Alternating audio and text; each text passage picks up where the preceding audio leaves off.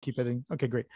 Uh, hello, everyone. Again, um, I'm Josh Fitzgerald. Um, we have started the meeting recording, so thank you all for joining us uh, for this, our final Lent term Garrod Research Seminar for the Cambridge Department of Archaeology and the McDonald Institute for Archaeological Research.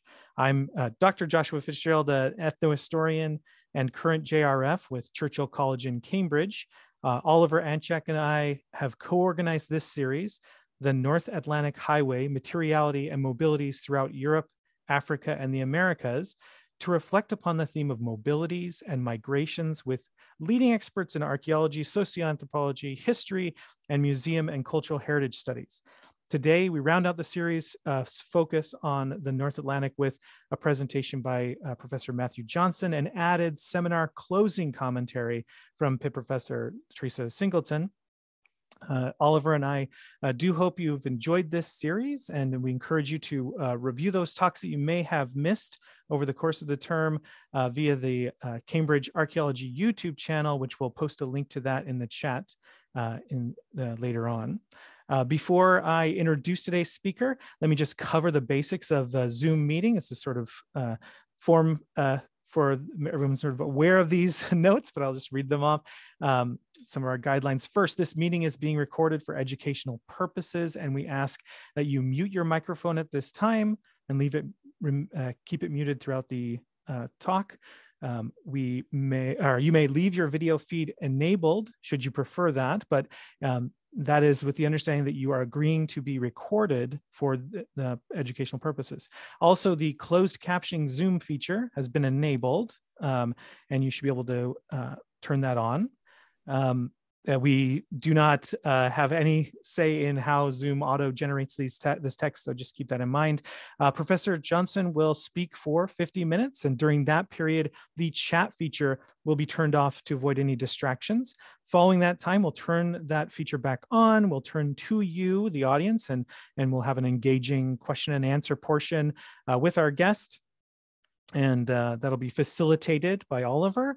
Um, you'll be able to use the raise hand feature uh, found under the reaction button, and then Oliver will call on you. You'll ask ask your question or make your comment, and and we'll go from for that. Uh, we'll move that for about 15 minutes, and then after that point, we'll turn to uh, Professor Singleton for her commentary on the uh, series and the research related to the themes of the talks that we've had throughout this term. Uh, the McDonald Institute strives to provide a thought-provoking and inclusive space for exchanges of ideas and research. All of our attendees must respect the invited speakers and fellow attendees and, and know that any disrespectful commentary or offensive behavior will result in that offending party being removed from the virtual room. Thank you very much. Uh, now, I have the honor of introducing today's speaker, Professor and Associate Dean Matthew Johnson. Matthew works on the archaeology and history of Europe and the Atlantic world. He has written six books on a range of themes, including castles, traditional houses, landscape, and an archaeology of capitalism. His best known book is an introduction to archaeological theory. He has also written more widely on interdisciplinary and interpretive approaches, understanding medieval and historical archaeology and archaeology in its cultural context. He most recently worked in, in the field at Bodiam Castle and nearby houses and landscapes in southeastern England. Bodiam is an iconic site, termed a fairy tale castle by visitors. It has been a classic study in debates over society and culture in the later medieval uh, Middle Ages. The collaborative Anglo-American project explored the castle and its surroundings as a living landscape of people of different social classes and identities. Places like Bodiam are best understood as a series of scales ranging from the action of washing hands in the chapel piscina through to their setting within global and post-colonial networks. Matthew was born in Austin, Texas, and is a dual US British citizen, so bridging the Atlantic. He has held visiting fellowships and positions at UC Berkeley, Heidelberg University, UCLA, Flinders University, University of Cambridge, and the University of Pennsylvania. After a PhD at Cambridge and posts at Sheffield, and Durham and Southampton. He returned across the Atlantic in 2011 to be professor and sometime chair of uh, anthropology and associate dean of the Weinberg College of Arts and Sciences at Northwestern University. He is writing a book on the archaeology of the English in the Atlantic world in the second millennia CE. He uh, tra uh, traces material landscapes and identities from the English Middle Ages through the feudal systems of Wales, Scotland, and Ireland to the plantations and colonies of New England, Virginia, and the Caribbean. His aim is to explore the landscapes, buildings, and objects that people made and used, and how these were bound up with the changing identities of the English and their neighbors over the very long, or long term. Uh, now, okay, we'll go ahead and welcome, uh, please join me in welcoming uh, Matthew for his talk, and you can, the floor is yours. You can share your screen now.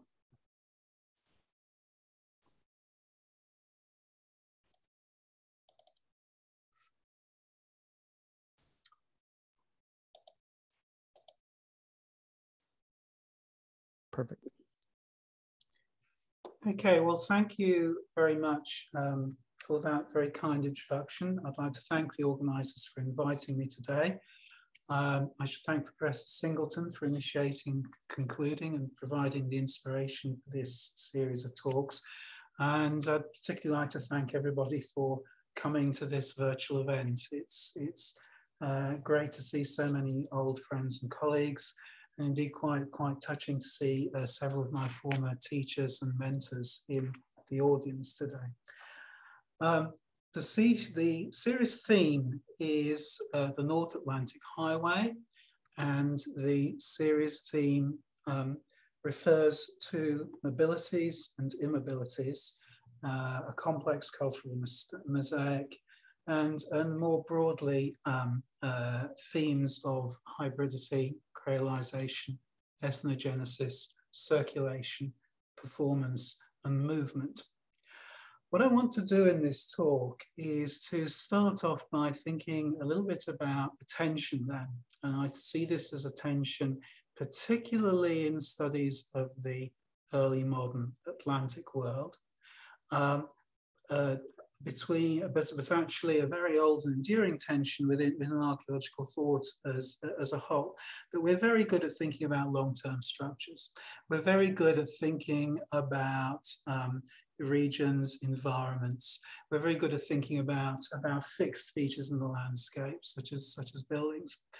At the same time, the whole thrust of much of archaeological and social cultural theory in the last 20, 30 years has been to, to move in the other direction, to think about how things change very, very quickly, to think about how identities are shifting and fluid and, and, and unstable. And you see this in the historiography of the Atlantic world. Um, there are origin stories that are traditional, that um, are very powerful and enduring and that keep going, however much more recent work has tended to, to, to move on from them or to, to, to, put question marks against them. I think here of the work of, of people like David Hackett Fischer, Albion's Seed, um, uh, a book which again was it has been much much criticized in the way it locates um, the origins of particular regional cultures in North America within particular regional cultures in, um, uh, in, in, in, England. So it identifies uh, Puritan culture of New England as coming from East Anglia, uh, the, the, the, the, traditions of, of, Virginia coming from, from the West Country and, and so forth. Um, but for all this criticism, it's more or less repeated with, with additional um, uh, regional identities, national identities by Colin Woodard in his very recent New York Times bestseller, American Nations. Again, ideas such as Jim Deetz's that, that the, the Puritan settlers of New England carried what he calls a precious cargo, um, uh, which he says is between their ears, the culture of Old England. Or the same idea, but flipped and reversed. Um, Philip Deloria talking about um, the settlers of Plymouth Plantation being a, being, being a warrior tribe. So one of the things I'm going to come back to again and again today is the way in which many of these older and enduring ideas are ideologically freighted. As much as we try and move away from them, we come back to them immediately. There's a constant backwards and, and forwards. Now I'm going to explore this, at least initially, not through giving you an extended theoretical peroration. I'm sure you're very pleased to hear that, but rather by exploring two case studies. I'm going to talk first about a particular artifact, a sundial at St. Peter's Church in Tawstock in the uh, southwest of England. And I'm going to go on and much more briefly uh, talk for maybe just five minutes or so about uh, uh, the other extreme of England, southeast England. I'm going to talk about Bodiam Castle, where, as, um, uh, as Josh indicated, um, I've been doing field work for, for, for some time. So I'm going to talk about these two case studies, and I'm going to try and ask what kind of theoretical lessons can, can, we, can we draw from them. Let's start off then with, with, with this, this specific artifact. This is sundial. It's affixed to the south porch of Tawstock Church in North Devon. It has the date of 1757, um, made by uh, J. John or James Berry. Um, the design is clearly highly distinctive. It's made of several pieces of slate, probably from Wales, and it's, it's surrounded by a, by a moulded frame. It has the motto on it, watch and pray, time steals away. This is a very common quote um, uh, with different wordings. It's often, uh, it's often rendered in Latin as vigilate et orate tempus fugit. And um, perhaps most significantly, it's given in a book dated 1753 uh, just a few years, uh, sorry, I do apologize, 1756, just a few, uh, just a, a, a, year before before the, the sundial is laid out. This is a book by, by Leadbetter. It's entitled Mechanic Dialing or the New Art of Shadows, fed, uh, freed from many of the obscurities, fluid superfluities, and errors of former writers on this subject and the, the, the motto is given as number 270 as in a list of hundreds of possible mot uh, mottos you might put in your, your sundial. Now I'd like to focus on the reference locations. Um, as you can see, particularly with the ones at the top, these are a combination of colonial ports from the Atlantic world and beyond, European cities, and also biblical references. So we have Fort St. George, which is at Madras, now Chennai, Samarkand, Babylon, Jerusalem, Rome, Lisbon. We have Barbados, uh, settled by the English uh, around in the 1620s. You have Boston, um, named by Puritans in the 1630s, um, uh, uh, uh, named after the Boston in, in, in Lincolnshire, not so distant from Cambridge. You have Port Royal listed, um, though in fact that had been destroyed by an earthquake in 1692 and replaced by what is now the modern city of, of Kingston in Jamaica. And coordinates for all these places are given in the book by Leadbetter, as discussed. Now, clearly this is in part copied out, but clearly also whoever designed this understood global navigation. The tropics of Cancer and Capricorn are there.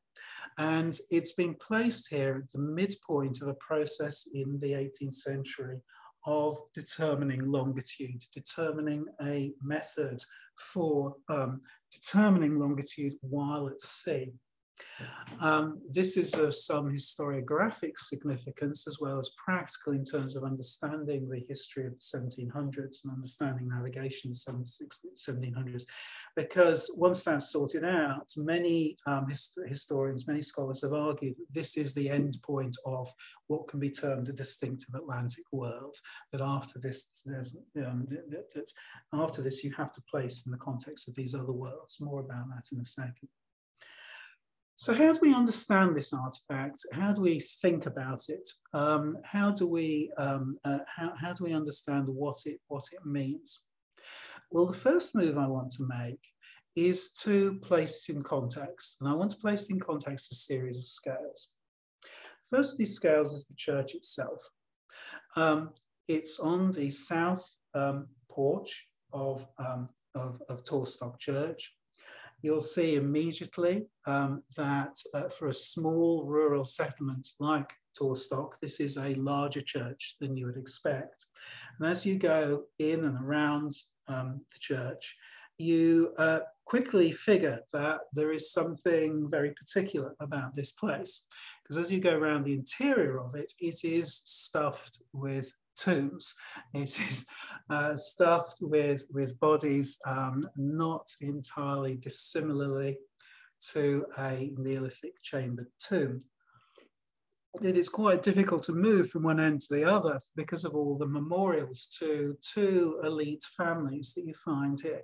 The older memorials are to the Bourchier family, um, the later ones are to the Wreys. And along with these tombs are a whole series of fixtures and fittings um, uh, designed in part to fix certain ideas of social status within the spatial pattern of the church. What we're looking at here is an Anglo-Protestant arena. We're looking at an established Church of England, which in the 17th and 18th centuries seeks to fix social relations in part by where people um, are, are, are, placed with, within the church. You see this very directly and literally. You see it on the walls as well. Um, uh, people going to church in this space. And remember that before 1670s, um, there was a legal compulsion to, to, to, to attend um, Anglican worship. Um, the walls are, are, are, are, are inscribed with, with, with the, the acts of charity which these members of the elite families are giving to the poor. So it's not just the tombs, it's the whole thing. And the theme is repeated outside. Some of these tombs, these, these, these, these monuments are outside. On the right, you can see there's actually a mounting block um, so that, um, again, uh, members of the elite coming up to this church, arriving and leaving on horseback, could do so and, and alight from their, their, their, their horses um, uh, with some, some measure of, of, dignity, while deference was shown to them by the, the, the commoners, commoners around. So the church is an arena for a certain kind of set of social relationships.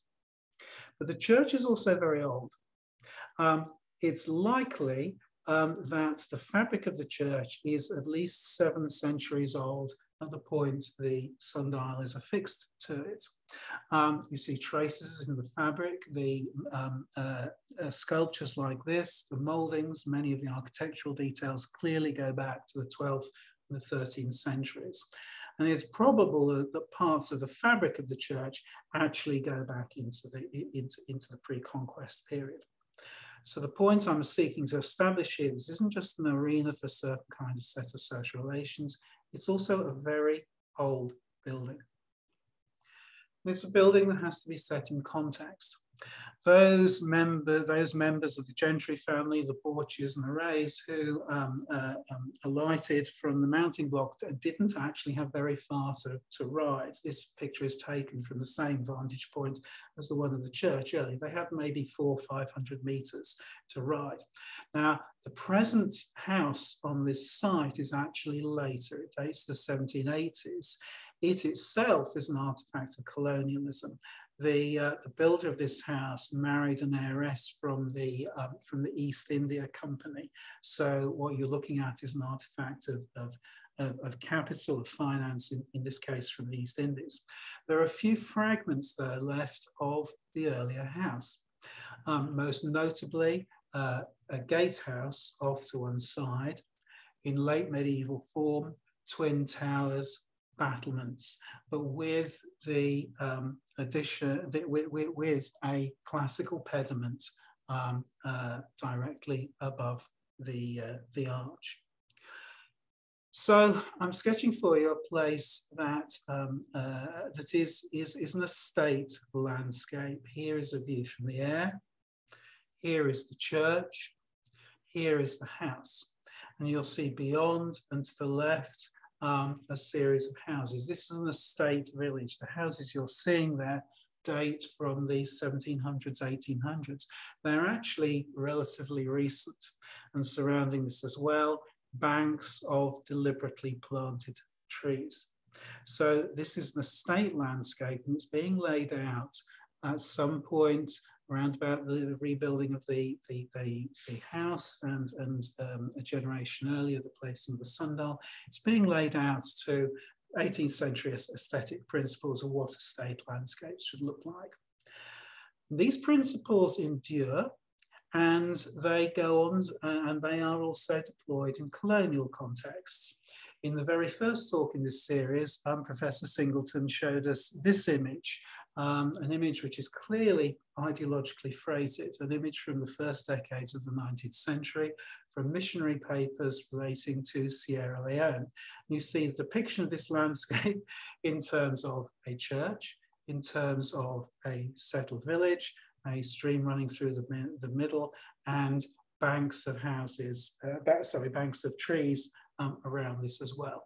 So a common set of aesthetic principles um, in, uh, that are then deployed in colonial contexts, or more accurately in this context, deployed in depictions of colonial contexts, arguably for consumption by a white audience, whether in North America or in, in, in, in, in the British Isles. But you have this estate landscape and it is placed down within the interstices of a much older landscape still. Here is the church, here is the um, uh, here is the here, here is the great house. You can see the, the village beyond. Beyond that, though, um, you have a series of isolated farmsteads and you have a series of um, patches of woodland, and you have a series of irregular fields. This, of course, is a classic North Devon landscape. The essential pattern you're seeing here in terms of its dispersed nature, in terms of the field boundaries, is one of very great antiquity. Many of these fields will go back to the, the 1100s, 1200s, to the um, to the, to the, to the expansion into, um, in, in, in, into the bocage of, of that, that, that, period. It may very well be that many elements of this landscape are actually much older still. The origins of this state itself may go back at least well into the early medieval period, if not before. Many of these field boundaries may well be ancient and may well actually go back into late, later prehistory. So you're dealing with a landscape here that is, is, is in many elements very, very ancient. And you're dealing with a landscape which is always and immediately ideologically freighted. Um, Hoskins, of course, W.G. Hoskins, uh, came from Devon and the, around about the same time he was publishing The Making of the English Landscape, he was publishing his guide to, um, to the county. Um, and here is what he has to say about these kinds of landscapes. This is the immemorial provincial England, stable, rooted deep in the soil, unmoving, contented, and sane. But let's zoom out a little bit and let's look at this unmoving, contented, and sane landscape in a slightly wider context. You can see Tawstock marked on the map on the left here, and you'll see it is in direct proximity to the two ports of Barnstaple and Bideford. Now, if you were seeking to actually travel from London to North America or indeed to the Caribbean um, in the uh, in the 1600s and 1700s, you may well have known these places. If you were poor or you couldn't, you couldn't afford it, you would get a ship, a boat from, from London. Um, but you would waste a lot of time beating your way up against prevailing westerlies as you went up the English Channel.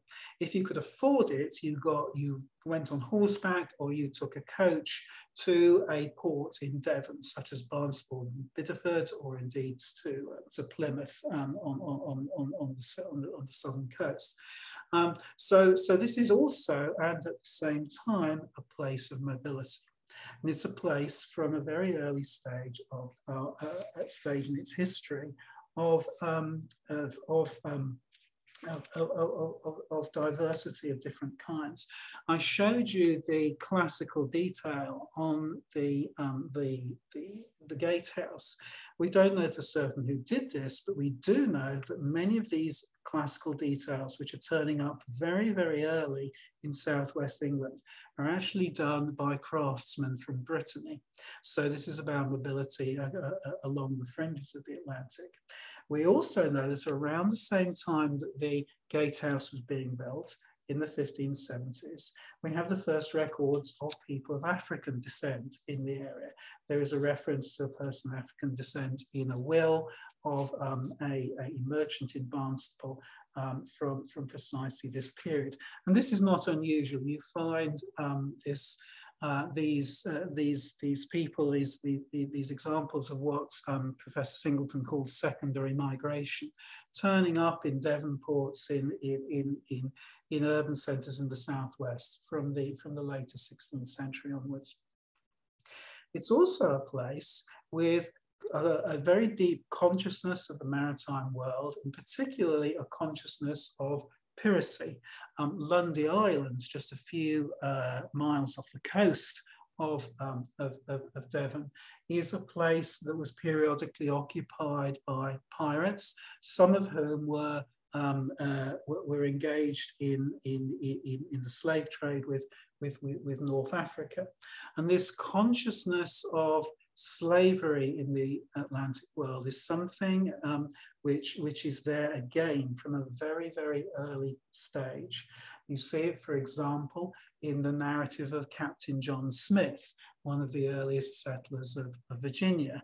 Um, he, in his memoirs, um, counterpoints um, his experiences in Virginia, or he prefaces them rather, with, with, with accounts of his, his time as an enslaved person at the Ottoman court in the Mediterranean. There's also a counterpointing in this literature of, of the experience of the Mediterranean world with, with that of the Atlantic world. That's, that's a matter maybe for another day. Um, you find these in Robinson Crusoe. You find the, these, these experiences mentioned in, in, in, in Samuel Pepys. So this is, um, uh, so to see this as stable and moving, contented and sane is only part of the story of this area. And another part of this, the, the story of this area, uh, and a very important one, is its place as a cultural borderland. Um, Tawstock, marked by the red spot on the left, is actually um, a place that for uh, hundreds of years was actually on the borderland between the, um, uh, the, the, the the, the, Celtic populations of the West and the expanding state of Wessex to the east. Um, Cornwall was um, eventually absorbed into Wessex, but retained a distinctive sense of its own cultural identity and a distinctive sense of itself as being part of um, a, a, a, a, West, a, Western zone of settlement um, for a very long time. Um, much of the new British history talks about interactions between England, Ireland, Scotland, and Wales. One element it forgets there is, is, is, is, is, is that Cornwall was part of this as well. Um, Corn, uh, Cornwall was independent until the 10th century. Um, by, the, uh, by the High Middle Ages, um, uh, its distinctive Cornish identity intersected with a, a, distinctive class and religious identity as well, and a distinctive cultural identity. Um, the landlords by this period were mostly English speaking and, um, uh, uh and part of, part of a Wessex elite. Um, uh, the um, uh, however, the West Cornish continued to use patronymics well into the 16th century. These people were seen as, as going, um, going bare-legged. They were referred to as redshanks, and you will, many of you will recall the um, uh, in, um, in Professor Horning's talk um, how uh, this term red redshanks and going bare-legged was also seen as part of Irish identity at the period. And of course, it's also an identity you find it with poor white farmers in, in Barbados, where the, the, the, term the term turns up turns up again.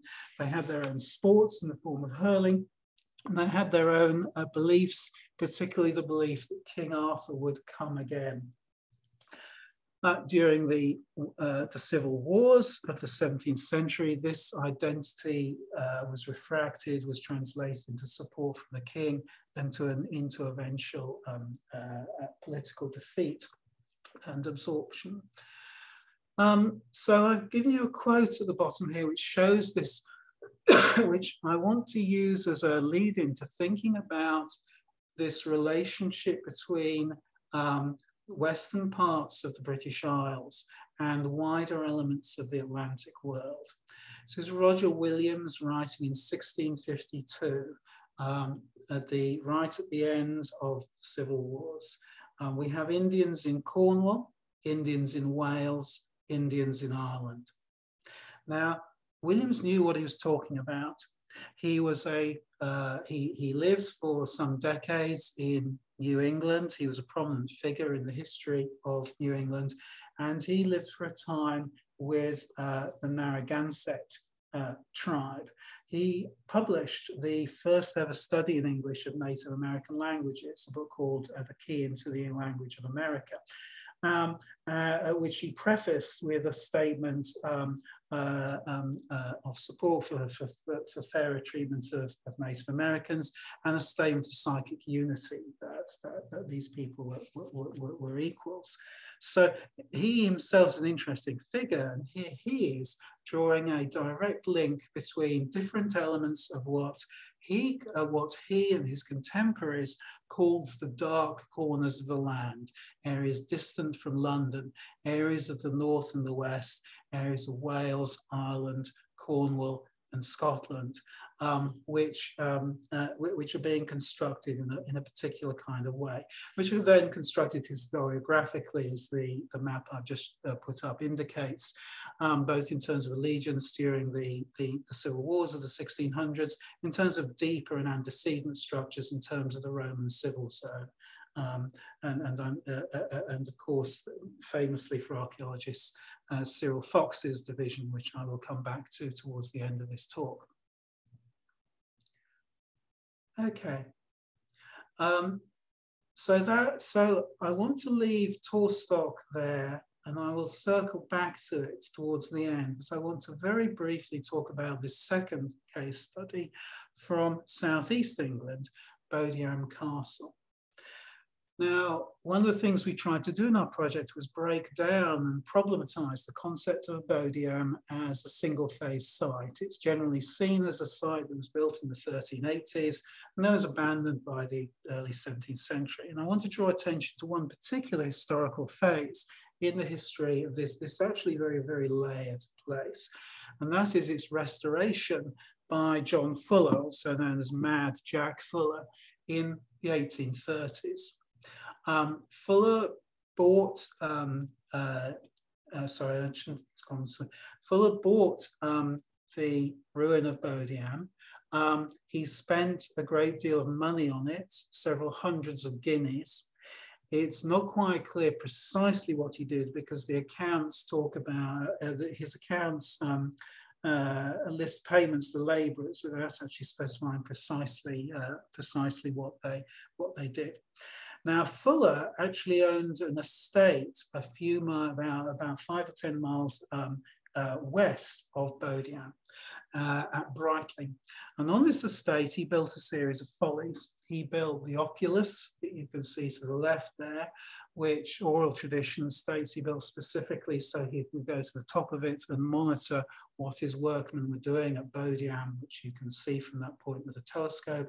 He, he was buried within the pyramids that you can see again next to an old church.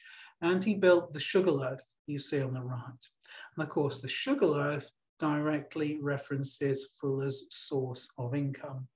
The Fuller family, through the 1700s and early 1800s, owned plantations in Jamaica. And um, these plantations were the site of labor for several hundreds of enslaved people um, uh, who, who, who work, worked there.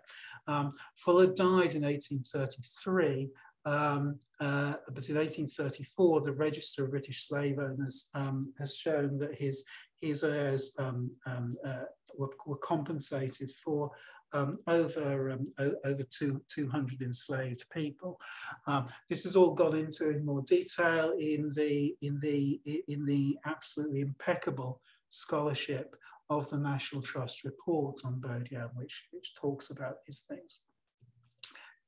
Here is, here is um, Fuller's estate. Here is the house at one end, and you can see again the same sort of aesthetic as we've already seen in the layout of this estate around Tawstock.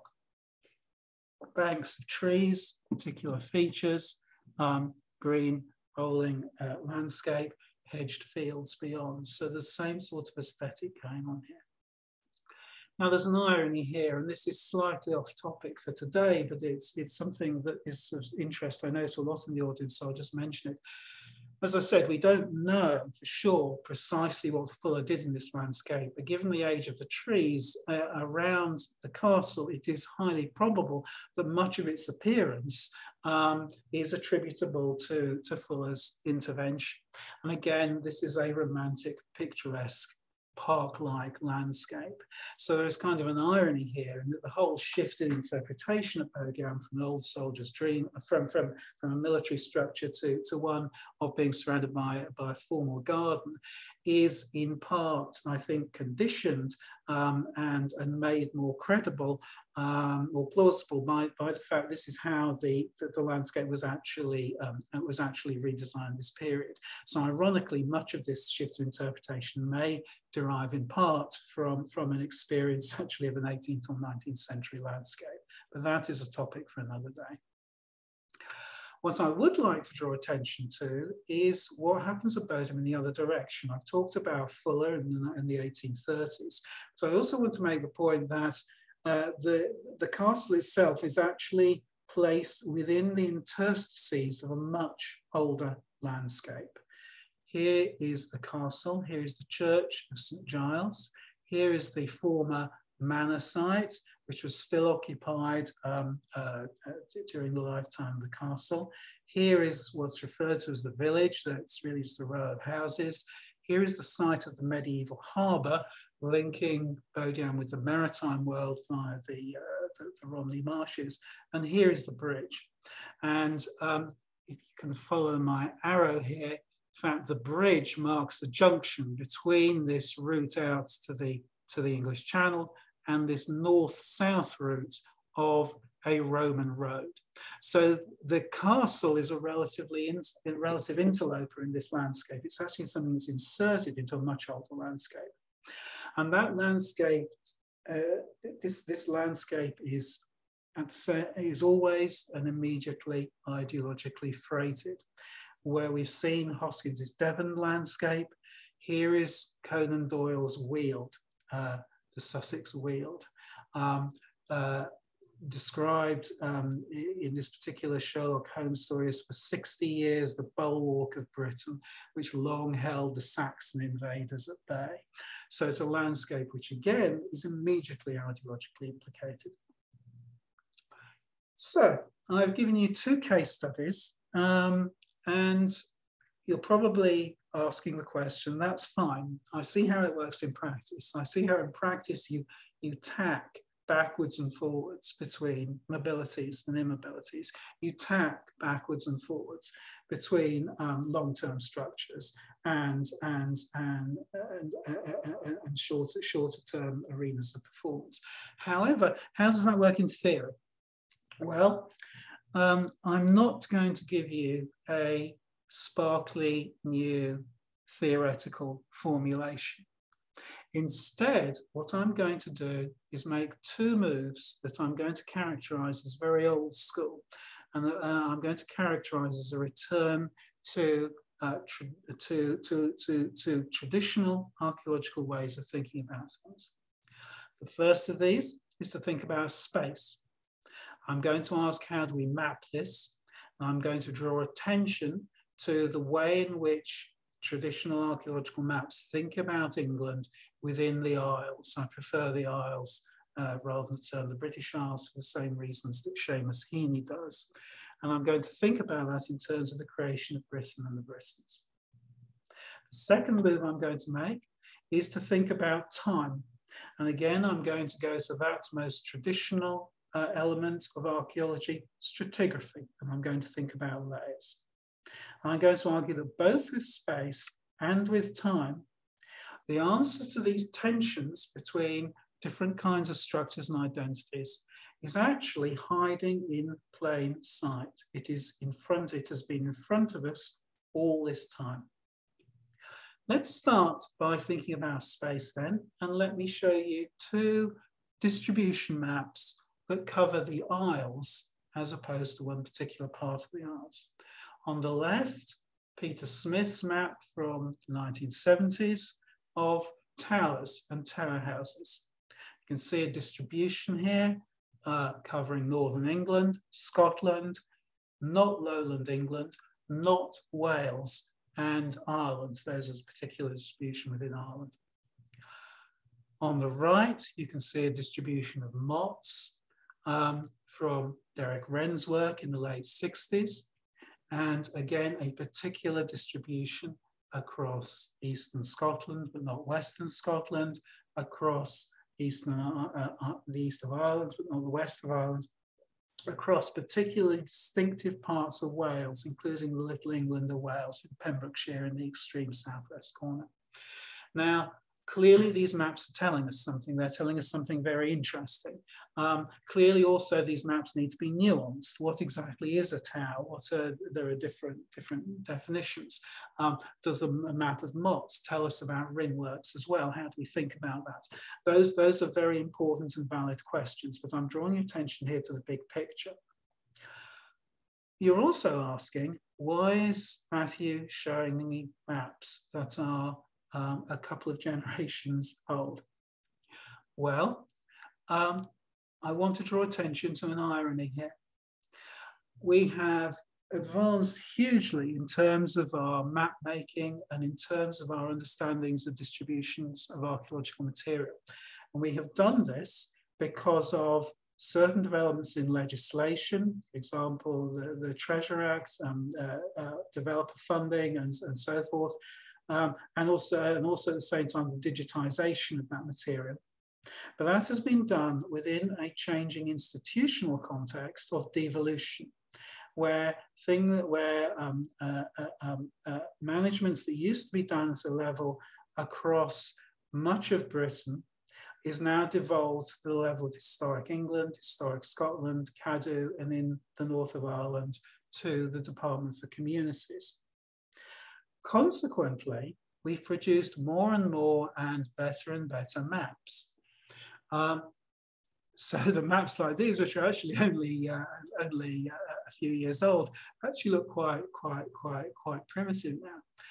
But uh, their issue is hiding in plain sight. As archaeologists, we are trained to look at the relationship between two phenomena by running a transect across it we cannot run a transect across um, uh, across because of the nature of these these data, particularly for the historic periods. So on our maps, Wales becomes a blank area. Scotland becomes now is not only blank, it's often left off at the top of the maps. And the less said about this curious blob that exists out here somewhere in the middle of the Irish Sea, the better.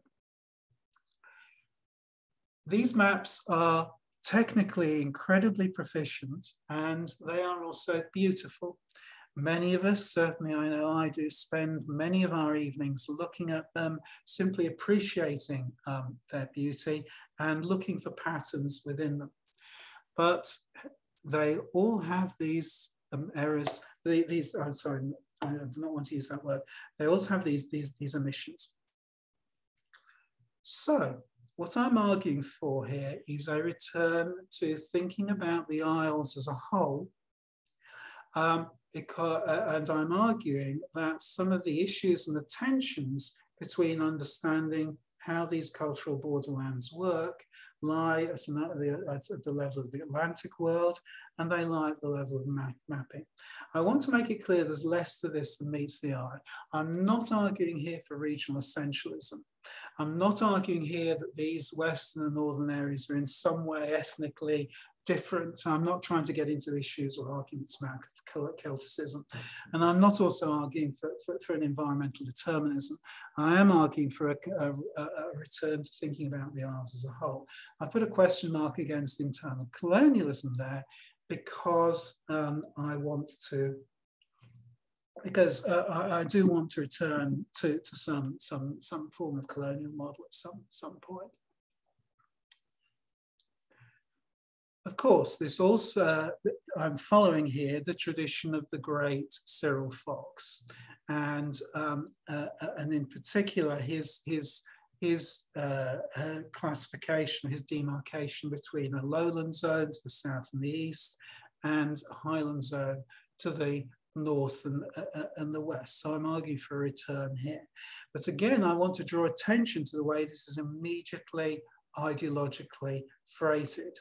Fox's work, at least on my reading, uh, he came obviously from a complex um, uh, uh, cultural background, but on my reading is, is primarily about observing patterns, and insofar as it has a theoretical um, uh, uh, motor in it, it's one of environmental determinism, though not the rather cruder versions. I think, think some of his, the second generation followers of his work have. But note how it was almost immediately assimilated into other kinds of ideologies. Here, here is Collingwood saying to Fox, um, that in fact, a model that on my reading is about envir environment is actually about race. Um, he argues that what Fox is really doing is um, looking at the cross between the poetic, idealistic, and some, somewhat slum-minded Celt and those dry, tough, and persevering low German temperaments of those dyke-bearing pioneers. Um, this is a private letter. Unfortunately, Fox's response to this is not uh, recorded. So I'm overrunning slightly, so I'm going to, I'm going to uh, move forward just a little bit. So, so far I've talked about space, and I've talked about how um, some of these, the, the spatial relationships that we should be interested in, in terms of placing some of these older and enduring structures in the context of the wider Atlantic world, are hiding in plain sight. They're hiding in the problematic relationship between England on the one hand and the Isles on the other hand. I want to uh, uh, make an analogous argument in terms of time. And I again want to argue that certain elements of time have been, uh, certain elements have been hiding in, in plain sight. Possibly the most famous sentence in social theory is this. Uh, people make their own history, but they do not make it just as they please. They do not make it under circumstances chosen by themselves, but under circumstances directly encountered, given, and transmitted from the past. The tradition of all the dead generations weighs like a nightmare on the brain of the living. This, of course, from Karl Marx, the 18th Brumaire of, of, of, Louis Bonaparte. And my hunch is it's, it's the most quoted, most cited um, um, um, phrase in, in, term, in, terms of social theory. I suggest that um, when we, when as practicing archaeologists, we stare at the section of an archaeological trench, this is what we are seeing. We are seeing people making their own history, but under circumstances directly encountered, given, and transmitted from the past. And we see this not just in terms of the section of an excavation, we see this in terms of buildings archaeology and the observation of stratigraphy in terms of buildings archaeology. Um, one of the neglected aspects of the history of archaeology, in, in, my view, is how our understanding of stratigraphy did not simply or only emerge from geology. It also emerged from the earlier 19th century work of architectural historians seeking to understand and to discriminate, using uh, Rickman's uh, term, um, seeking to understand and, and discriminate um, between different architectural styles. Um, when we see it in the landscape as a whole. We see it in um, the relationship between um, uh, uh, between um, uh, uh, um, different elements um, across the, the, horizontal landscape. Um, so you don't need physical depth to observe stratigraphy, just as we saw in the landscapes around Tawstock and around, around, uh, around Bodiam. So to conclude, let me circle back to Tawstock. How do we understand, how do we take these ideas about layers and about mapping and about the Atlantic world, and how does this help us understand these kinds of artifacts? Well, again, I want to make a very traditional move. I want to make, uh, I want to talk or move to a traditional archaeological context, namely that of cultural horizon. I suggest the 1700s saw a cultural horizon across the Atlantic world. You see in this period buildings that are classified as Georgian, with symmetrical fronts, classical detail. You see fields that are enclosed, hedged and ditched. Again, Professor Horning in the last talk talked about how these hedged and ditched fields in the north of Ireland are not an artifact of plantation, but actually an artifact of these changes in the later 18th century. Something we see in ceramics and material culture, and perhaps we see it um, uh, in many ways most profoundly in terms of print culture and literacy. I deliberately deferred to uh, the end of the talk the phenomenological question of what would, the congregation who walked underneath this sundial actually see or understand as they looked up at it? Well, that question is in turn one of uh, levels uh, and numbers of, of literacy. Um, and of course, the sundial itself derives very directly from print culture in the form of, of pattern books. These things all materialize they, uh, um, and mediate a world that is English speaking, and a world that is Protestant. The um, creation of this world across the North Atlantic was an active process, and it was done with reference to particular kinds of religious ideas. I'm referring back here to Linda Colley's thesis, which I, I, I largely endorse, that, um, uh, that, that, that, that, that Britain is actually a creation or a deliberate political act of union between the Protestant elites of Ireland, Scotland, Wales, and, and England. We see this materially in buildings like the one on the left, and we see layering materially in buildings like the one on the left. This house built by a relatively modest gent in the North Hampshire countryside was built under conditions directly transmitted from the past. You can see on the left here the irregularity, the string course, the different bricks compared to the right. There is an older, more traditional house at the core of this building.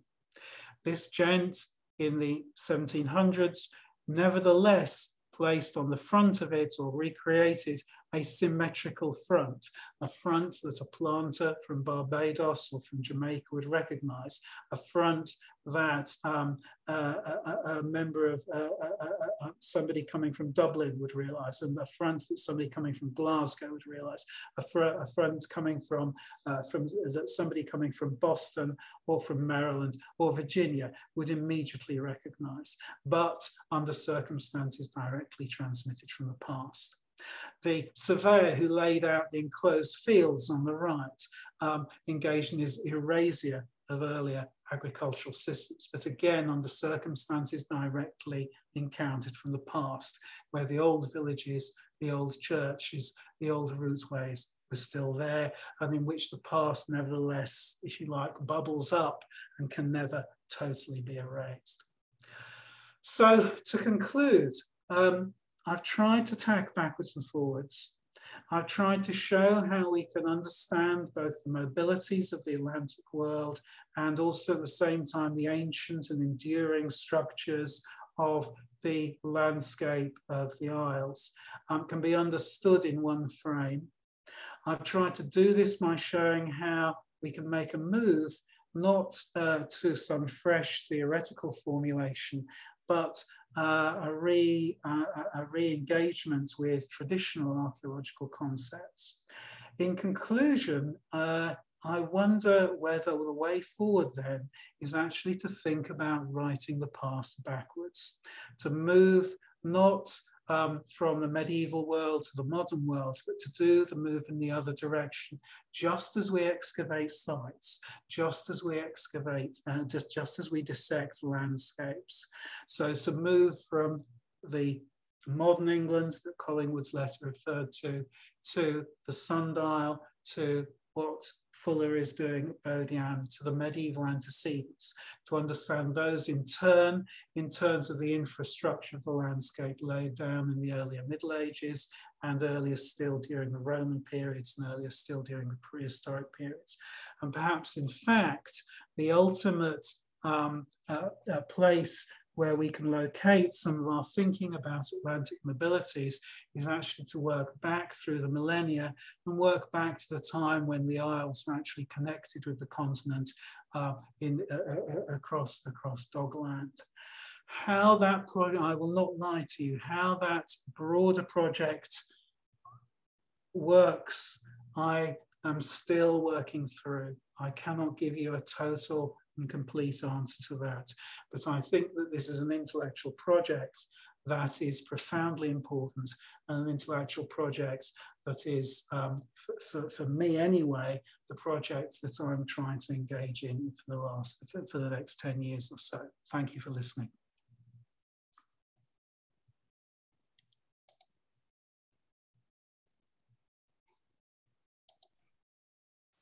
Thank you, uh, Professor Johnson. Thank you. Please, everyone, join me in a round of applause, virtual with your uh, emoji or um, on camera, uh, in thanking Professor Johnson for such an engrossing um, presentation. Um, and I'd like to now open up the floor to some questions. Uh, I haven't received any through the chat yet, but please do send those to me through the chat or by raising your hand.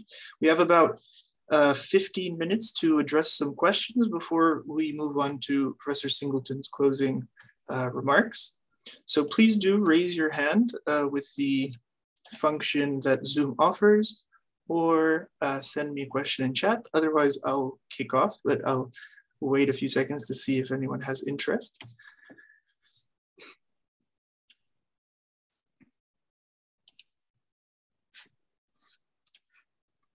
No?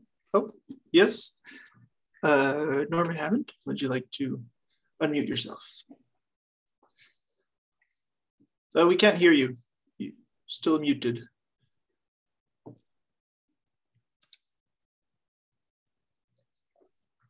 We can't um, hear you, Norman. Oh, okay, there you go. Yes. Okay, Matthew, can you hear me now? We can.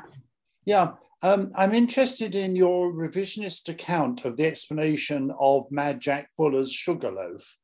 Um, if you check page 57 of Arthur Mee's Sussex, um, it tells the traditional story that it was the result of a bet um, that he could see the spire of Dallington Church from um, his house. And he went home, found he was wrong, and swiftly had the sugarloaf whipped up on the horizon so that uh, he could show um, his um, uh, opponent that in fact he was right. Um, but you're saying that it's in fact an imitation of a West Indian sugar loaf.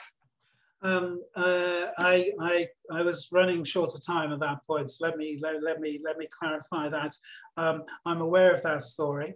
And um, there are clearly these two interpretations. I've seen both of them in different printed sources given as, as, as fact and as, as self-evident.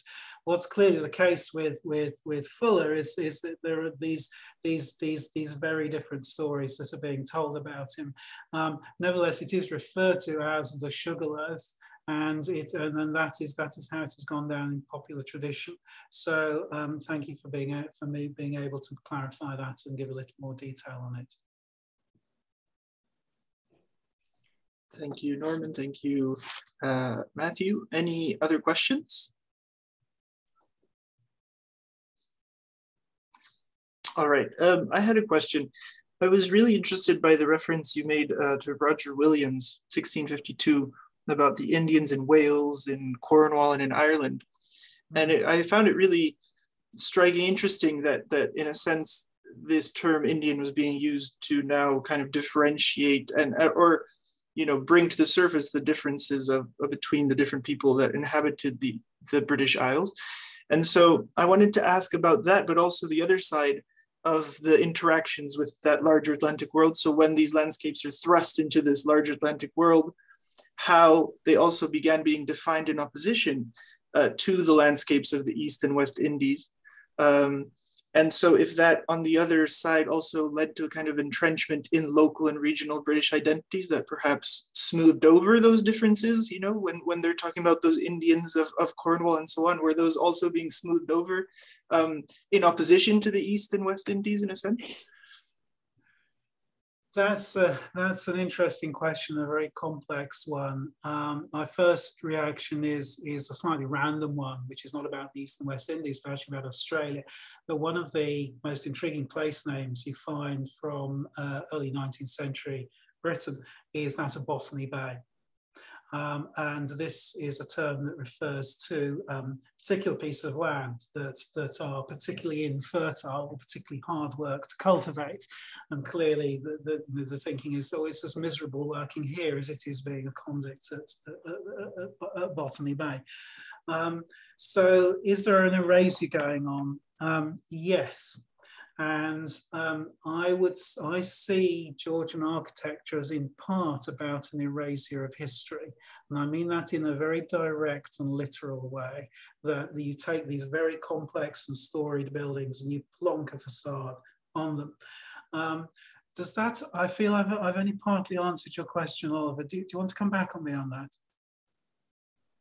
No, I mean that's uh, you, you already did did touch on it with with the uh, with the Georgian architecture. If you'd like to develop it a little more in, in terms of uh, other things, I'd be uh, excited to learn more, but we, we don't have that much time. So thanks for the answer and I'll uh, let John Robb now ask his question. Hi, Matthew, good to see you. Um, I, I have a bunch of thoughts about what your about your very interesting presentation. Um, it's sort of, you have a very deep time approach with the idea of the, the weight of the past generating the present in a kind of very practice oriented thing. But then you also have, um, you were talking about things like an 18th century Protestant English horizon that cut across things and presumably was a kind of moment of horizontal formation. So, in that sense, you have sort of horizons and you have depth. And what I was sort of curious to know is what happens when a horizon meets a depth, or what happens when a depth meets a horizon, if you see what I mean. Yes. I think you have a big old fight. Um, you have a, uh, and sometimes the horizon wins out, and sometimes the depth wins out. And in a sense, the problem we've all been struggling with is to specify the circumstances in what in which one wins out and and the circumstances in which something else wins out. And that is the very stuff and the very fabric of, of archaeology. I think to answer that in more specific terms um, it seems to me uh, and I'm going to oversimplify hugely here, but but I I'm thinking about the the the, the 1500s and the 1600s in terms of the persistence of particular kinds of regional traditions, and essentially they're they're successfully fighting off some of the attempts to to pull them into or to articulate them into into a larger framework between particularly between different regions of of the Isles uh, versus the, uh, the, the, success of the 18th century. And that is attributed in part to particular kinds of technologies, uh, print culture being being, being, being one, um, uh, mechanisms of the common law being another, um, all uh, so, you know, literacy underpinning pinning both of those, but also more direct material technologies. I think in terms of this seminar, I would, I would uh, I'm, I'm, I'm interested in shipping. Mm. And. I'm interested in thinking about the way in which, if I'm right, that, that you know, this, this is changing, to what extent is this down to the cold, hard facts of communication times between people, which I, have I've only been able to attend some of these talks, but I don't believe anybody's talked about in this this this this this this seminar series how long it actually takes from news and through information to get from one end of the the Atlantic world and another. And in that sense, the technology of shipping is really, really important in that context. Hmm. Okay, thanks. I think there's a lot more we could say about that, but maybe on another occasion. Yes. Hmm. Thank you both. We have a few more minutes. Any other questions, comments, ideas, reflections on Professor Johnson's interesting and fascinating uh, presentation? Um, Alissandra Cummins? Is that a raised hand? I think yes. Yeah. I'm sorry to be so, you know, internal looking, but I was fascinated about the sundial and the particular uh, sites or ports that uh, were looked at, including Barbados. Did I get the date correctly? Was it 1715? No, 1757. Ah, because I, I think um, we should obviously tie this in with the uh, experimentation of, uh, of the various methodologies to achieve longitude and the whole process that Maskelyne and William and Harrison were involved in. Um, and just to say, I, I, I, you know, it's fascinating because uh, also the one of the earliest sundials on the island was placed on the lawn of Codrington College, and I'm uh, I'm interested in this association between the church, if you like, and and this whole business of time and and science is is quite a I, I'm sorry to be inarticulate because it's not a field that I'm normally aware of, but I think I, I would like to explore that a lot further. Could you possibly comment on this? Thank you. That's um, sometimes when you when you give a talk, you get an ideal question which invites you to speculate about something you didn't feel you could you could you had license to do in the talk. And thank you, uh, um, Professor Cummins, for, for doing exactly that. I like to think about what people saw when they looked up and they saw this thing. And I didn't have time to go through the statistics, um, but um, you know, this is a place that, first of all, you're, you're right, that, that the, I may have the date slightly wrong, but the, the, the Parliamentary Act to incentivize people to figure out longitude was 1714, I think. Um, and um, Harrison eventually gets paid off for it in 1790. So it's a process that, that, that unfolds between those, those, those two dates. Um, but there's a, the, uh, almost, almost exactly the same time as, as the literacy rate is going from something, uh, according to some estimates, not all, it's a controversial matter, um, uh, around 30% to about 70 to 80% um, but by the end of this period. So the question I'm moving towards is what did people see and how did they understand it? Um, and um, I, I think of this, I have a mental picture of um, both men and women of different social classes and also children looking up at this thing. And somebody maybe who'd been to sea who understood the technical issues, explaining it to them, um, and then in the very action of that explanation, you know, reinforcing certain kinds of, of, social social ideas, people talking about their experiences of going to sea, um, and so on. So I see this as a locus for, for different kinds of narrative that people have um, different social classes would, would have, have brought to this. Now it's in the countryside, it's not in the towns. So we're talking about different social classes. We're probably not talking about different ethnicities um, or, or, or, people of different, different, different racial origins. Um, but um, as, as I said, there are, there are very, there are a lot of very different people in Devon at this period. Does that, uh, does that provide a partial answer to your, your question? Yes, at least in part, although I would love you to speculate on this conjunction between science and the church, but for example, is there mm. any any way of drawing out some connectivity there, or is it simply in the realm of the commissioner having decided what he wanted to see on the sundial and it being placed on the porch there? Um, it's it's a bit of both. Um, the the rector or the vicar of this church would have been a direct appointment, and as any reader of Jane Austen will know, um, these sort of appointments were pretty much in the gift of the local landowner. So, if the local landowner wanted this place there, there would be very little. The the the if he knew what was good for him, the the the rector of the church would not um, would not object. The rectory is actually a little way off in the other direction. So you have the big house, then you have the um, the church, and then you have the, the buildings, the rectory, a little bit downhill and, and, quite a bit smaller than, than, than the rectory. So there's a there's a very complex social gradation going on um, in this place. In terms of the relationship, in terms of knowledge, that's that's an interesting question. Um, this is a period which, in I think, in some senses, is a decoupling of religious knowledge and and um, and, and secular knowledge. Um, in the 1600s, the the project, and again, this is very controversial, but the the, the, the whole project of um, finding out about the world is conceived of in many places, not least in the University of Cambridge, as an explicitly Protestant project. And it, it is in part, at least in the earlier part of the 17th century, um, uh, an explicit project in part to bring about the millennium, to bring about second coming. Um, so, but by the 18th century, it's decoupled. So I'm thinking in real time as I'm talking to you, and I'm thinking the way to think about it is actually in terms of a decoupling or a tension between these two different practices. Thank you, uh, Professor Johnson and Professor Cummins for that exchange. We have a comment from no, uh,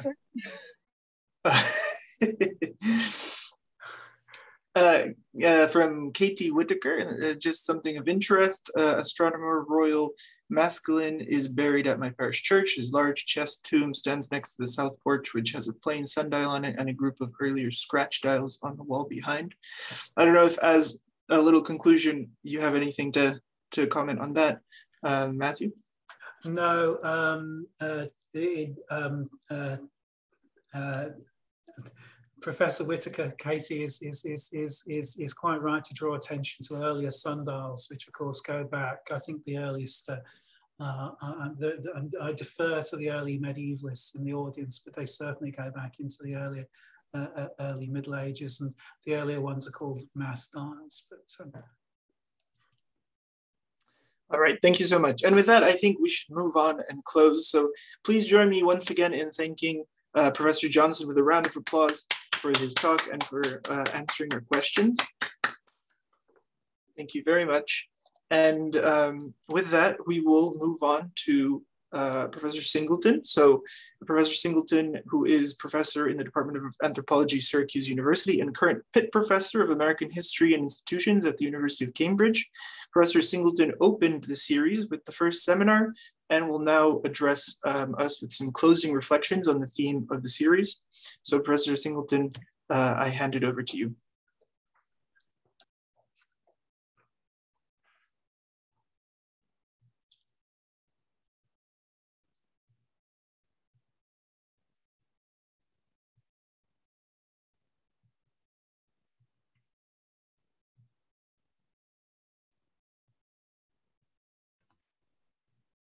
Can you see my screen? I, oh, okay. Um, I should say that it's this is more a review of the themes because I had to spend time uh, trying to remember all the things. Well, not all the things, but some of the main um, ideas and to see for myself. And that, I ended up uh, doing it in a PowerPoint because um, I don't know, it seemed like it was a little bit easier to see uh, the various themes and then the sub themes that, that went with it. Um, uh, certainly the, I guess the major theme was the mobilities of, of people. And um, I sort of saw like three kinds of uh, th- three, three major ways in which we were talking about the mobilities, you know, out migrations, certainly Africa, the main one transatlantic slave trade. Um, I have England, um, I guess going both to like the Caribbean, but also uh, to to uh, Ireland, and then Ireland, the indentureds that went to the Caribbean, and then in um, North America, um, the main one was one that I mentioned in my talk about Afro descendants leaving um, Nova Scotia and Philadelphia and going to other places um, Nova Scotia to Sierra Leone, and then um, Philadelphia to uh, Samana in the Dominican Republic in the 19th century. Then, um, sort of in migrations uh, for Ireland, you have the English and the um, Highland Scots, the Sierra Leone, the Africans, uh, Liberia, the Afro Barbadians, which um, were talked about in, in two talks. And then um, in Gambia, the castle slaves and the liberated uh, Africans. And at least two places, and probably more when you think about it more um, on a larger scale, um, places that have both um, in and out migrations. And Barbados, I have Barbados is, is its land area is 439 square kilometers.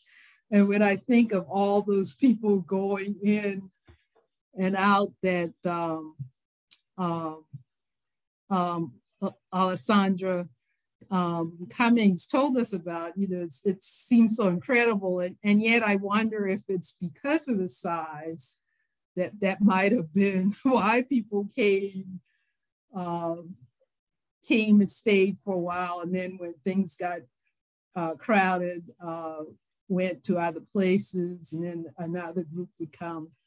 Um, and then also the other place where you had in and out migrations was Gambia. Um, the more people were going out in terms of the slave trade during the period that Gambia was important in the transatlantic slave trade. But, but um, Eliza Gijanto also talks about the castle slaves.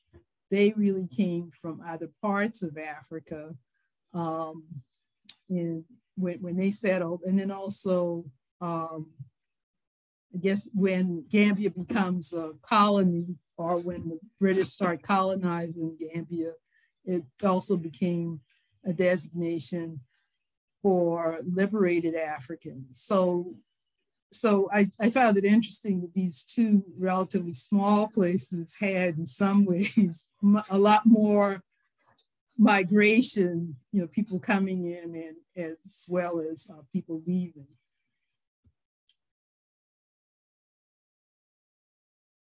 Um, oh.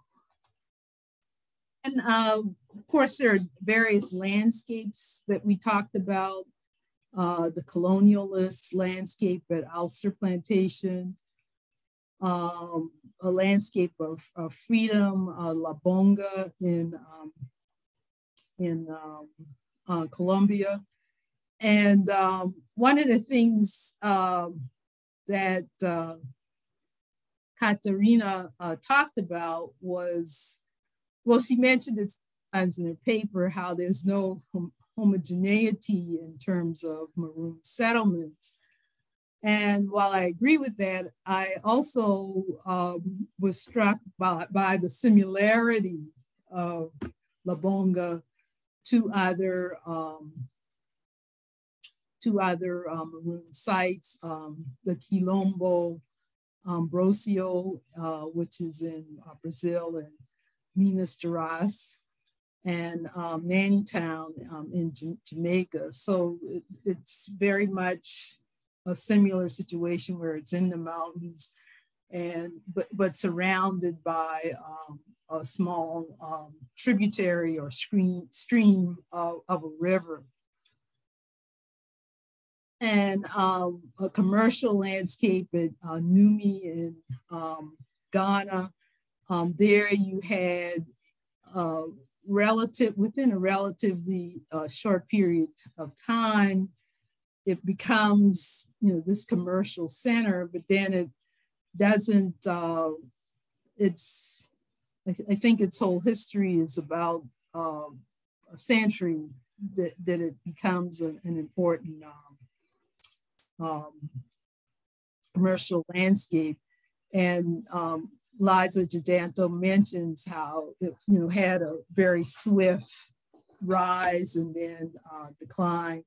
then the enduring landscapes that we, the English landscape that uh, Matt, um, Matthew Johnson, Professor Johnson just mentioned uh, to us, uh, how you have these landscapes that really are, you know, so many years well, several centuries, and, and yet they're uh, still, still with us in many ways. And then there's the hidden landscapes in Barbados that uh, enslaved people um, occupied, the gullies, uh, the caverns, uh, almost like a subterranean type of uh, landscape. And then the maritime landscapes that were mentioned um, in northeastern um, Ryan Epperson um, talks about north the northeastern Caribbean, but but also um, he talks about the um, in in Ireland, um, and uh, one, one interesting thing uh, was that uh, about the, I, I thought she said coconuts were in under the ships. And I had that on the list of props, but I took it off. I said, I must have been daydreaming about the Caribbean. But I listened to her uh, lecture right before and in their word they did find coconuts but i didn't get a date as to when that how old that uh, shipwreck was but that but i just thought that was really interesting that uh, there are you know coconuts in in ireland i mean at that time period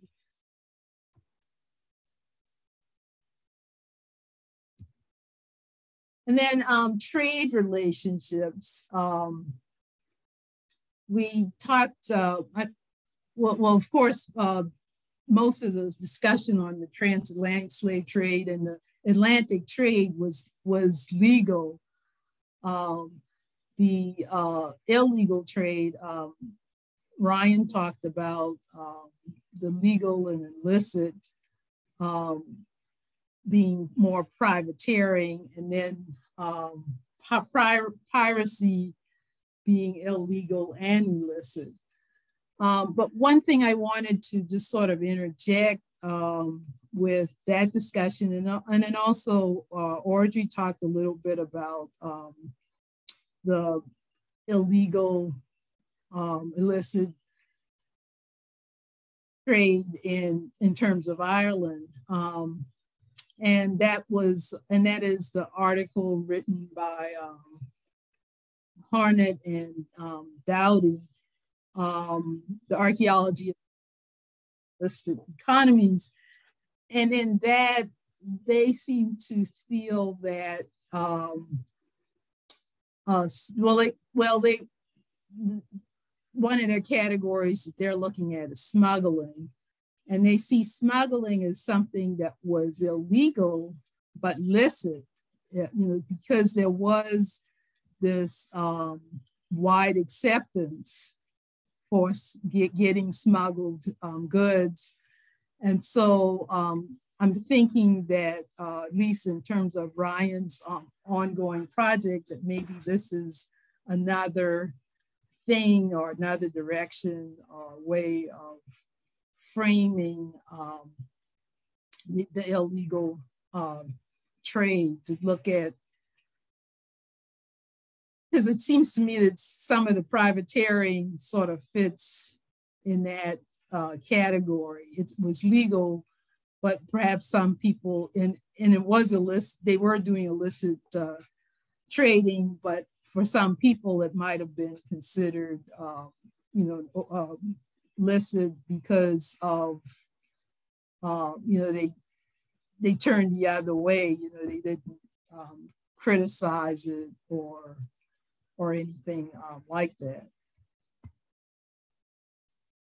Um, we talked a lot about our identities, or at least um, some people more than, than others. Um, and so there were a number of ethnogenesis and hybrid identities. The um, Palenqueros um, would be one, the um, Luso African, the Black Englishman, um, the person who had the various types of clothing that for which uh, Audrey said if you were to see him, if, if people were to see him at the time, they wouldn't be able to really know his identity because he had clothing that's associated with different, um, you know, different groups of, of people. And then she also talked about uh, shifting identities um, in terms of, particularly in, in terms of religious identity um, after the uh, colonization of, um, of, of, of Ireland. And um, then, and then in the end, um, after about 1640s, I believe, you have these uh, transplanted Irish identities um, going um, particularly to, to the Caribbean.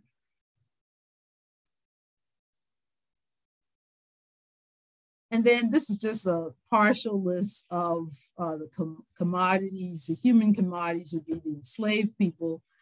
Um, I was really struck by the whole uh, role tobacco played in um, in in in um,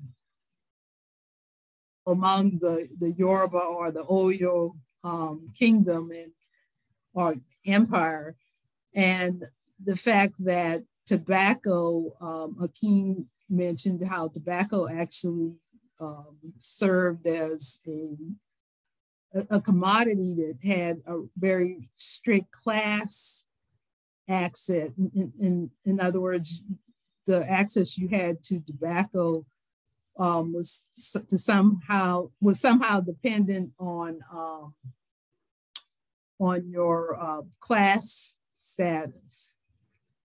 Um, and then cowries, guns, um, beads, and alcohol. And, and I think in some of the questioning, people um, looking at Gambia and um, and Nigeria, how different, how how these commodities were different. Tobacco was very important in the Oyo uh, kingdom, but in the Gambia, um, alcohol seems to have been a much more important um, commodity that came via the uh, Atlantic trade.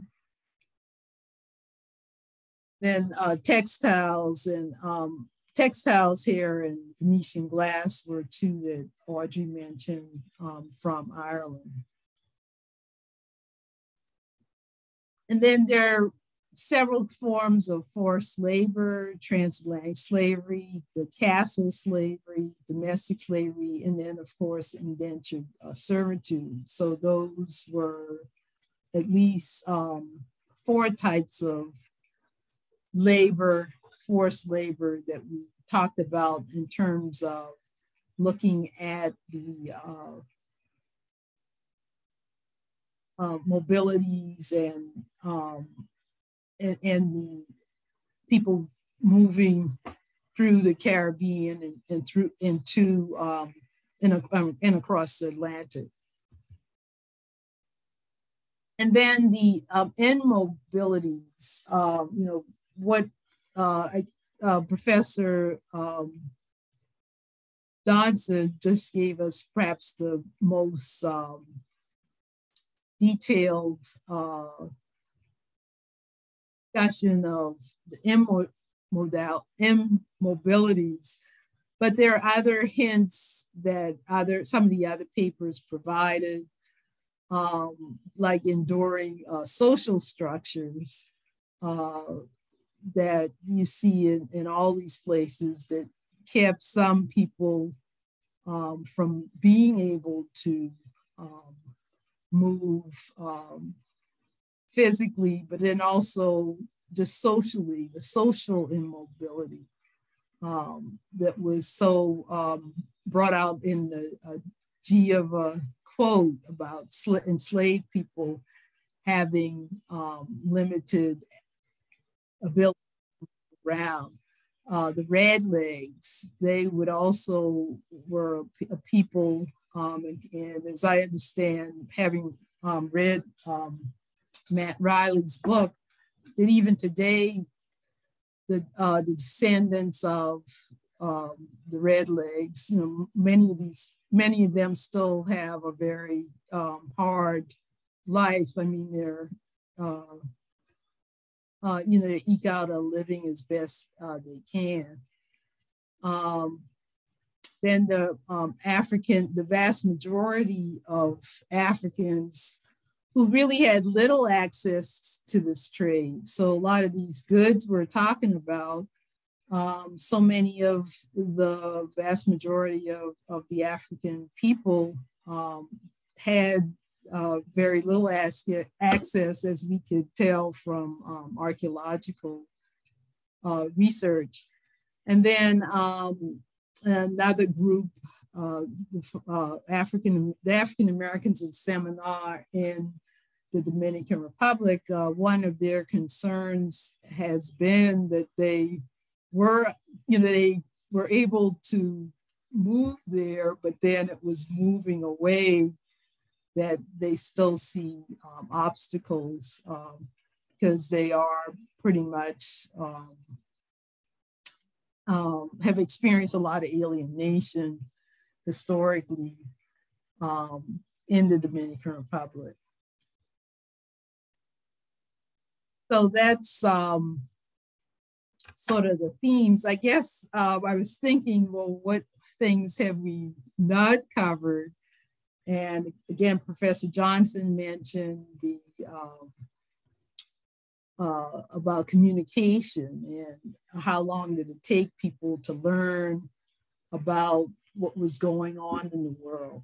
Um, another thing we really, none of the top papers address was the extent to which uh, gender played a role immobilities. You know, so many of the people that were discussed, and you know, I'm I'm guilty of this as well, um, were um, men. You know, what what about women? You know, were they often you know just left behind in certain cases where they could um, potentially migrate uh, or go somewhere else? Um, so, so those are the two things that I feel like might need more attention in, in the future. But uh, I'd say all in all, I, I when I first heard about uh, this theme, I, I kept thinking, well, is there going to be much we could say about mobilities?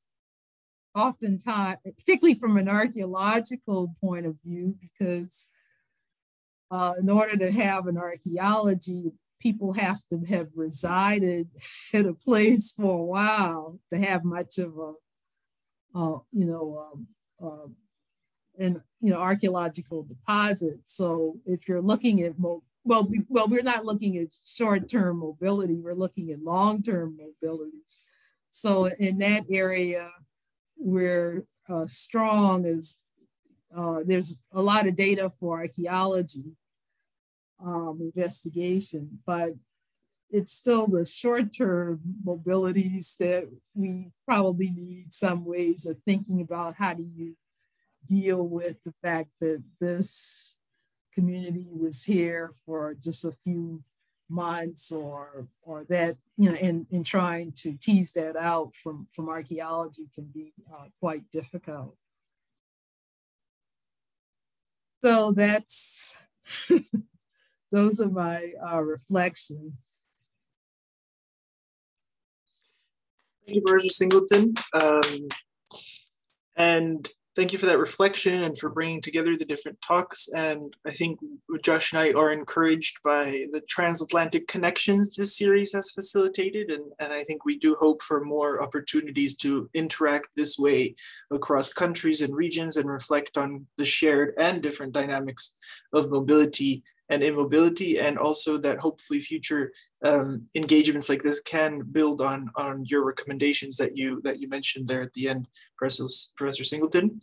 Um, so now Josh and I would like to bring the Garrod Seminar Series to a close, and we would like to thank uh, everyone who has attended our talks throughout the the three months that we have been running them, um, and also to all of our speakers. Um, all of our speakers, uh, of course, Theresa Singleton, Joanna Catarina Mantilla, uh, Ryan Espersen, Alissandra Cummins, Akin Ogundiran, Liza Gijanto, uh, Audrey Horning, and Matthew Johnson. Thank you very much. And Josh, I pass it on to you. Uh, yeah, uh, I just want to, um, we'd also like to thank everyone who has been involved uh, with the organization, uh, including the Cambridge Heritage uh, Research Center, Anna O'Mahony, uh, Emma Jarman, Laura Cousins, Liz DeMarrais, Paul Lane, Laura Bonner, Matthew Davies, and Cyprian Broodbank.